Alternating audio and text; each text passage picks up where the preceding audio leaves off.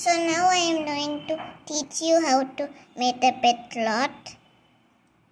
What you need is a lot, obviously, and black and white paint, a brush, and water.